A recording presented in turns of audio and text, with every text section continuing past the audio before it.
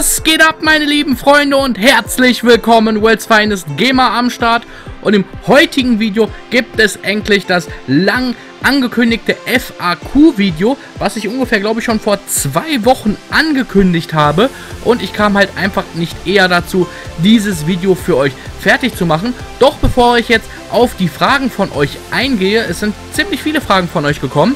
Äh, ich kann aber halt leider nur einen kleinen Teil der Fragen dran nehmen, da das Video sonst äh, Überlänge hat oder so ein Scheiß. Und von daher habe ich einfach mal, die ich ähm, am interessantesten fand, die Fragen, die habe ich jetzt einfach mal ausgepickt. Und bevor wir jetzt ähm, auf die Fragen eingehen, be beziehungsweise bevor ich diese beantworten werde, möchte ich noch auf zwei, drei Sachen eingehen. Zum ersten, es tut mir wirklich leid, dass das Video so lange gedauert hat, bis es online kam. Ich habe es vergessen, es kamen immer zu viele krasse Sachen ähm, neu rein, so die ich euch vorher zeigen wollte. Und ganz wichtig, Leute, das ist nicht das 3000 Abonnenten-Special, wie vielleicht viele von euch denken. Im 3000 Abonnenten-Special werde ich Unlock All Accounts verlosen. Ich denke, dieses Special wird dann am Wochenende kommen. So, im Hintergrund seht ihr Gameplay, welches alle meine Glitches sind, die ich in den letzten, ich würde sagen, zwei Monaten oder so selber herausgefunden habe. Da irgend so ein Kackvogel behauptet hätte, ich würde GTA vernachlässigen und keinen guten GTA 5 Content bringen. Und von daher seht ihr ja gerade hier im Hintergrund, Leute, was ich alles in den letzten Wochen und Monaten gefunden habe. Und ganz ehrlich, Leute, sagt mir eine Person, die mehr und krasseren Scheiß in der deutschen Szene ähm, rausfindet als ich oder meine Kollegen. Da gibt es einfach keinen so. Und von daher finde ich das eine Frechheit, mir sowas zu unterstellen. Und von daher würde ich jetzt sagen, fangen wir jetzt aber auch endlich einfach mal mit den Fragen an. Und die erste Frage kommt vom AFG Infinity. Ich hoffe, ich habe jetzt deinen Namen richtig äh, ausgesprochen. Du wirst mich bestimmt gleich unten in den Kommentaren zerreißen, weil ich deinen Namen falsch ausgesprochen habe. Das tut mir aber wirklich auf jeden Fall richtig doll leid, dass ich den jetzt hier falsch ausgesprochen habe. Die erste Frage von ihm ist, was ist deine Lieblingsserie? Ich habe äh, ziemlich viele Lieblingsserien, die ich gerne gucke. Zum Beispiel habe ich immer gerne Prison Break geguckt. Die Serie ist aber allerdings abgeschlossen und da habe ich jede Folge und auch jeden Film zugesehen. Aktuell gucke ich ähm, Serien wie Arrow gerne oder was ich auch gerne gucke, ist die Serie Flash. Die läuft, glaube ich, auf Pro 7 und das ist auch so eine Superhelden-Serie über den Superheld äh, Flash. Die feiere ich richtig stark und was ich auch in den letzten Tagen noch geguckt habe, ist äh, die Serie Shameless. Das ist so eine Serie über eine asoziale Ghetto-Familie aus Chicago in Amerika, die sich täglich aufs Neue durch das Straßenleben durchkämpfen muss, um zu überleben. Und diese Serie feiere ich wirklich auch überkrass geil. Da habe ich jetzt auch, glaube ich, die fünfte Staffel von fertig geguckt in der letzten Woche. Und ich warte wirklich ähm, sehnlich darauf, dass die sechste Staffel in Deutschland davon anläuft. Ich habe keinen Plan, wann die rauskommt oder so. Auf jeden Fall darauf, darüber würde ich mich riesig freuen, wenn dort dann die sechste Staffel rauskommt und ich endlich weiter gucken kann, beziehungsweise ich herausfinde, wie es in der Serie weitergeht. Die zweite Frage ist, was sind deine persönlichen Wünsche an Content in GTA 5, der noch in zukünftigen DLCs hinzugefügt werden soll? Und da muss ich ganz ganz klar sagen, ich würde mich riesig über neue Banküberfälle freuen, weil ich habe die Heist einfach richtig geliebt. Ich habe jeden Banküberfall bestimmt 10, 15 Mal durchgezockt. Wir haben abends immer äh, mm, so im Mai-Juni-Bereich haben wir mit Kumpels immer jeden Abend dran gesessen und ähm, einfach just for fun Banküberfälle gespielt. Es war scheißegal, wie viel Geld man oder so bekommen hat. Es hat einfach Fun gemacht, mit Kumpels ähm, zu labern, während man diese Banküberfälle gezockt hat und die waren wirklich richtig geil weil ähm, ich, selbst jetzt ab und an zocke ich so einen Banküberfall wirklich noch einfach just for fun äh, noch richtig gerne, weil das macht einfach wirklich richtig viel Spaß. Und deine dritte Frage ist, wann denkst du erscheint GTA 6 und wo in welcher Stadt würdest du es dir wünschen? Ich gehe davon aus, dass wir so schnell leider kein GTA 6 bekommen werden. Denn GTA 5 ist ähm, vor zwei Jahren auf den Markt gekommen und ähm, vor einem Jahr ist GTA 5 dann auch auf den Next-Gen-Konsolen erschienen und in diesem Jahr ist GTA 5 erst auf dem PC erschienen. Und von daher gehe ich mal so damit aus, dass wir vielleicht 2018 oder 2019 in drei, vier Jahren mit einem GTA 6 rechnen können.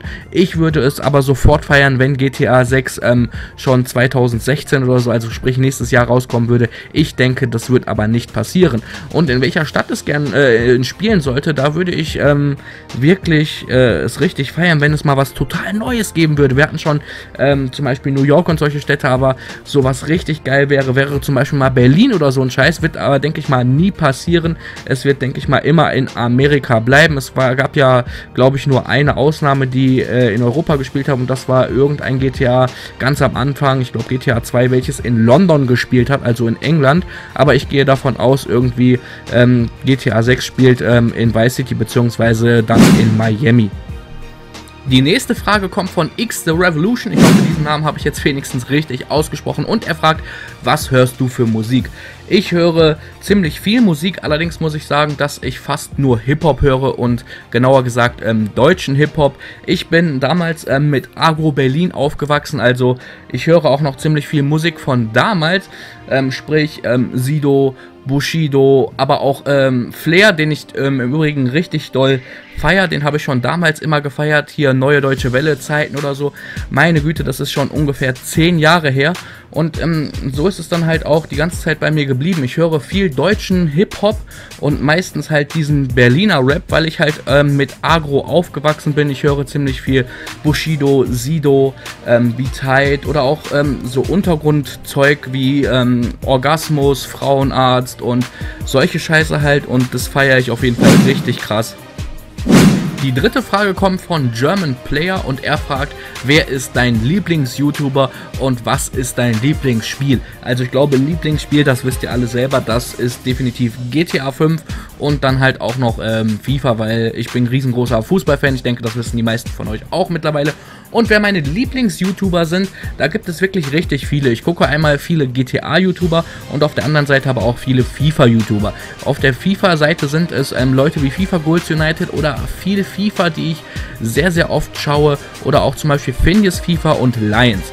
So, und auf der GTA-Seite, da gucke ich erstmal alle meine Kumpels gerne. Ich denke mal, ihr wisst, wer alles so meine Kumpels sind. Die sind auch in meiner Abo-Box alle auf der Startseite von meinem Kanal verlinkt. Ich denke, das wisst ihr alles, wer da so meine Kumpels sind. Ich gucke da, ähm, iCrimex gucke ich zum Beispiel gerne, Fraps, Matrix und solche Leute, die feiere ich wirklich überkrass geil. Dann ähm, gucke ich Free Train, What the Fudge, richtig geil. Der Typ findet nicht nur die krassesten Glitches, sondern der, er entertaint mich auch wirklich überkrass, was er da so für eine Scheiße jeden Tag rausbringt. So, er bringt auch täglichen Content raus und auf jeden Fall, das sind so die YouTuber, die ich am meisten feiere. Dann gibt es noch Standard Skill, mit dem bin ich damals zu YouTube gekommen. Das war der Kanal, den ich als allererstes abonniert habe, ganz am Anfang von GTA 5 auf der PlayStation 3 noch.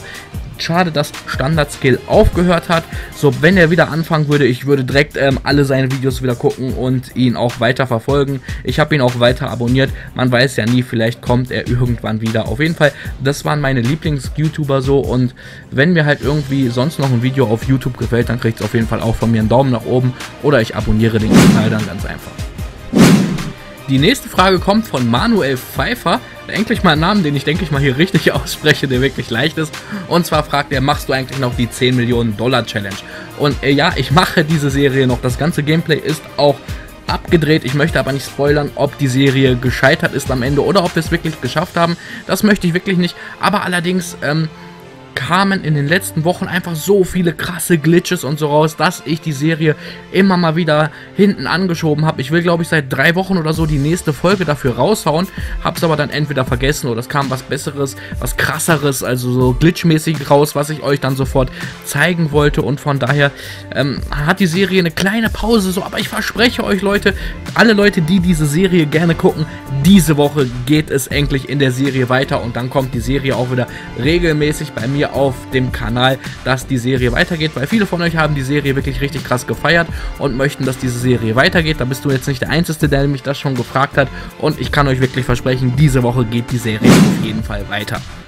Die vorletzte Frage kommt von Die Seidebacher und zwar fragt er, er, hattest du am Anfang von deiner YouTube-Laufbahn den Hintergedanken mit YouTube aufzuhören, weil so wenige deine Videos angeschaut haben?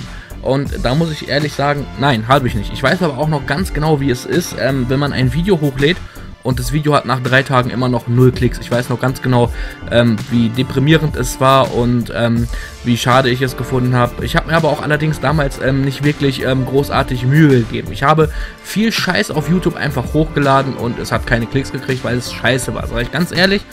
Und ähm, ich mache es jetzt irgendwie ein bisschen besser seit ähm, ja, Februar, März dieses Jahres. Und als ich mir dann auch wirklich richtig viel Mühe gegeben habe, als ich gutes Commentary gebracht habe, als ich äh, gutes Equipment mir geholt habe und auch ähm, wirklich krasses Zeug gezeigt habe und nicht einfach nur wahllos irgendeinen Scheißdreck hochgeladen habe, da ging das auf einmal auch schon von ganz alleine. Natürlich haben mir einige Freunde viel geholfen, meinen Kanal zu pushen. Ähm, von iCrimix, FIFA Goals United, Fraps oder auch Matrix her so. Aber ähm, meine ersten äh, 300 Abonnenten habe ich ganz ohne Push dann bekommen in kurzer Zeit so. Und von daher, wenn man ähm, wirklich in YouTube ähm, wirklich Herzblut reinsteckt, ähm, dann bekommt man wenigstens ein paar Klicks. Und so war es dann auch schon. Und ich war über diese paar Klicks auf jeden Fall riesig happy und habe auch immer weitergemacht. Ich hätte nie gedacht, dass es ähm, mal so ist, wie es jetzt ist, mit über 3000 Abonnenten.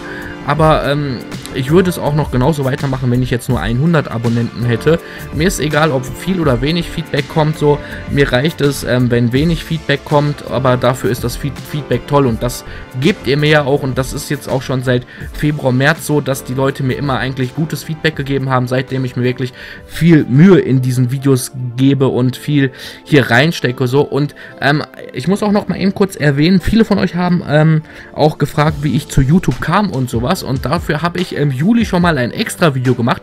Das Video heißt ein Jahr World's Finest Gamer und da gehe ich auf diese Fragen ganz genau ein so und lasse dieses ganze Jahr auch nochmal Revue passieren. Ich verlinke euch dieses Video mal unten in der Videobeschreibung. Ist wirklich ein saugutes Video von mir geworden, was ich auch wirklich richtig geil finde und äh, für die Leute, die es halt noch nicht kennen, beziehungsweise die noch nicht so lange äh, bei mir auf dem Kanal mit dabei sind, von denen würde ich so empfehlen, schaut euch das Video mal an, da werden auf jeden Fall auch viele Fragen von euch beantwortet. Die letzte Frage kommt von HeadyXX und er fragt, was war das Schlimmste, was du erlebt hast? PS, herzlichen Glückwunsch für 3K. Und ich muss sagen, ähm, ich habe in meinem Leben schon wirklich viel Scheiße erlebt. Das sage ich jetzt hier ganz ehrlich und zwar wirklich sehr viele Scheiße. Ob das ähm, mit der Polizei zu tun hatte, ob das mit Schlägereien zu tun hatte oder sonstiges. Und ich muss aber ehrlich sagen, das Schlimmste ist, ähm, wenn Angehörige, äh, Leute, die dir nahestehen, ähm, sterben. Und das habe ich in meinem Leben schon zweimal mitgemacht. Ähm, zuerst war es so, dass meine Oma gestorben ist und dann war es ähm, im letzten Jahr so, dass mein Vater verstorben ist, der lange Zeit äh, gegen den Krebs gekämpft hat und dann halt doch nach drei Jahren Kampf ähm, den Kampf gegen den Krebs verloren hat und auch er ist nicht einfach so von jetzt auf gleich friedlich gestorben. Er ist ähm, wirklich qualvoll, schmerzhaft ist er ähm, viel zu jung von uns gegangen und er war gebrechlich, er, er, hat einem leid getan, er konnte nicht mehr sprechen, er konnte gar nichts mehr. Er war zwar komplett geistlich anwesend, hat leider alles ähm, miterlebt, was um ihn herum passiert ist. Und das war, würde ich sagen, das Schlimmste, was ich in meinem Leben jemals erlebt habe, so jemanden, den man gern hat, zu sehen, wie er ähm, stirbt und auch schon halt kurz vorher ist und ähm, nichts mehr machen kann und einfach warten muss. Und das ist auf jeden Fall definitiv das Schlimmste, was ich je erlebt habe. Und das wünsche ich auch meinem schlimmsten Erzfeind nicht, dass er einmal sowas erleben muss. Und ich hoffe auch, dass ich äh, sowas selber nicht noch einmal in meinem Leben erleben muss. So Leute, ähm, genug ähm, traurig rumgefaselt so. Ich würde sagen, das war's jetzt hier. Ich mache jetzt hier mit dem Video Schluss. Ich mache das Video jetzt hier zu Ende. Mich würde es freuen, wenn ihr den Like-Button jetzt mal so richtig verprügeln würdet und dem Video einen Daumen nach oben da lassen könntet. Und äh, Leute, ganz ehrlich, wenn ihr auch irgendwelche Fragen habt fürs nächste FAQ-Video, ich denke, ich mache jetzt mal einmal im Monat so ein FAQ-Video, dann haut einfach unter diesem Video hier in die Kommentare ein paar Fragen rein, dann nehme ich die wahrscheinlich dann beim nächsten Mal auch dran. Ich bin wie gesagt auf jeden Fall jetzt an dieser Stelle einfach mal raus. Wir sehen uns im nächsten Video wieder. Bis dahin, macht's gut, bleibt gesund, haut rein und ciao.